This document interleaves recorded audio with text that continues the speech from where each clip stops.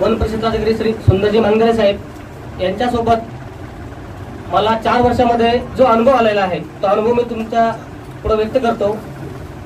ज्यावेळेस मी पत्रकार म्हणून काम करत असताना मी अनेक आरे अनेक अधिकारी बघितले परंतु ज्यावेळेस साहेबांच्या सानिध्यात गेलेला आहे पण असाच ऑप्शन पार्क त्यांनी साहेबांनी आमच्या अजिंठा गावामध्ये माननीय मंत्री महोदय अब्दुल सत्तार साहेब यांच्या शाळेवर जे साठ लावून एक ऑप्शन पार्क तयार केला त्यातून खरोखर भविष्यात त्या ठिकाणी आमची मुलं आमच्या गावातील वृद्ध सर्व क्षेत्रातील लोक तिथे जातील बसतील आणि त्यांना खरोखर ऑप्शन मिळेल. म्हणजे साहेबांची संख्या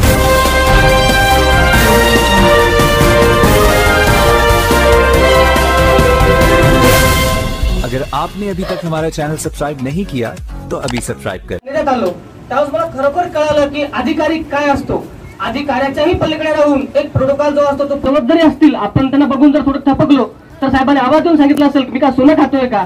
या तुमचं काय काम आहे ते सांगा अगोदर. म्हणजे असे आमचे मांगदरे साहेब त्यांच्याविषयी सांगायचं तेवढं कमी पडेल. कारण त्यांनी मी जेव्हा माझ्याकडनं काही थोडंफार चुका झाल्या तर एक वेळेस त्यांनी मला बोलले बोलवलं आणि सांगितलं की नाही तुम्ही जेव्हा समाजकार्य करताय पत्रकारी करता करताय पण पत्रकारिता करत असताना तुम्ही एखाद्या अधिकाऱ्याविषयी एखाद्या कर्मचाऱ्याविषयी लिहा पण लिहिण्याच्या अगोदर त्याची शहानिशा करत जा. कारण तुमच्या एका लिखाणामुळे त्या समोरच्या कर्मचाऱ्याला किंवा अधिकाऱ्याला काय त्रास होतो याची जाणीव ठेवा.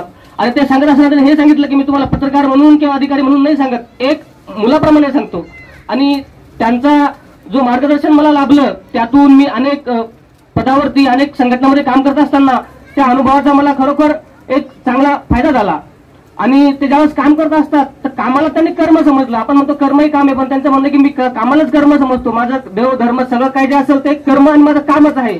आणि काम करत असताना साहेबांनी कधीही साहेब म्हणजे आपण जे म्हणतो सेक्युलरिझम साहेबांनी कधी कुठल्या गोष्टीचा असा विचार नाही केला. जाती पातीच्याही पलीकडे जाऊन साहेबांनी काम केलं. समाज कार्यामध्ये आज अजिंठा वनप्रसिद्ध कार्यालयाच्या अंत- मध्ये जे ऑक्सिजन पास त्या कल्पना फार वेगळी असते. कारण साहेब जे काम करतात ते साहेब काय काम करतात नेमकं हेच माणसाला समजत नाही. जसं पवार तात्या म्हटले की मी तुमचा सत्कार पवार साहेबाच्या हाताने करू का अजिंठाच्या हाताने करून? करू. परंतु मी तरी म्हणतो की साहेबांचा सत्कार माननीय सत्येंद्र पवार साहेबांच्या हाताने करावा. जसं सत्येंद्र पवार साहेब काम करत असताना जे बोलतात त्यांच्या बोलण्याचे अनेक असे पैलू आणि अनेक असे अर्थ निघतात. कारण ते मुत्सद्दी राजकारणी तसेच या क्षेत्रामध्ये माननीय मांगरे साहेबांनी जे कार्य केलं हे कार्य खरोखर एक अविस्मरणीय कार्य आहे. कार्य आहे. कारण मी काम करत असताना सातबारासारख्या ठिकाणी जातो. तिथले माझे सभापती आमचे तवडी साहेब ते सुद्धा नाव घेतात नाव घेण्याचं कारण हे की त्यांनी प्रत्येकाला आपलंसं समजलं. एक जीव लावला.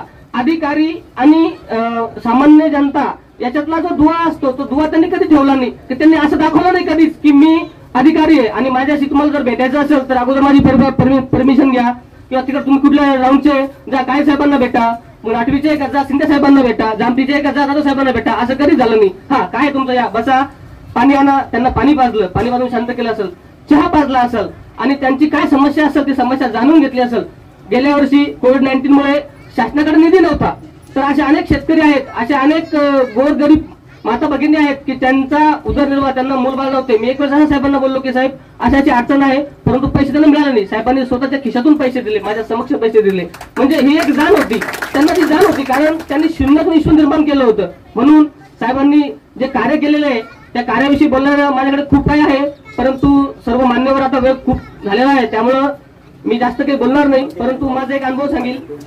साहेब साहेब आले आणि माझ्या मी त्या साहेबाचा कुटुंब साई साहेब आता ते त्यांची बदली होऊन सोयगावला गेले परंतु त्यांना काय होतं याची गरज आहे? पण त्यांनी वेळात वेळ काढून ते आज इथं राहिले. त्याचं कारण काय?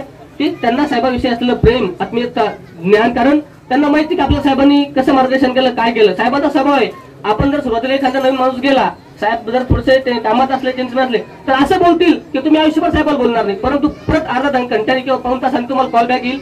अरे जवान या बसा. काय झालं? मी थोडं याच्यात थोडं सांगायचं तुम्ही असं म्हणून. समजायला पाहिजे. बाबूराव चहा करा. म्हणजे हेच साहेबांचं वाचनालय बेंच म्हणजे असे अनेक सामाजिक उपक्रम सामाजिक कार्य साहेबांनी केलेले आहेत. आपण समजा एखाद्या मंदिराला दान देतो याला दान देतो परंतु साहेबांचं त्याच्याही पलीकडे आहे की नाही? समाजातील जर चार युवक चार तरुण जर चांगले घडले किंवा त्यांची जर त्यांना काही एखादं व्यासपीठ तयार होत असेल त्यासाठी मला आवाज द्या मी आज हजर आहे. म्हणजे साहेबांची ही तत्व आणि तत्वनिष्ठा यातून दिसून येते. साहेबांनी अनेक राजकारणी जाऊन बघितले. साहेबांनी कोकण मराठवाडा विदर्भ अशा अनेक ठिकाणी काम केलं. पण काम करत असताना साहेबांनी सगळ्यांना घेऊन सोबत काम केलं. इव्हन साहेबांच्या स्टाफ मधील जे कर्मचारी तोंडावर सगळेच हवा हा म्हणतो ती सेवा चांगल्या प्रकारे झाली.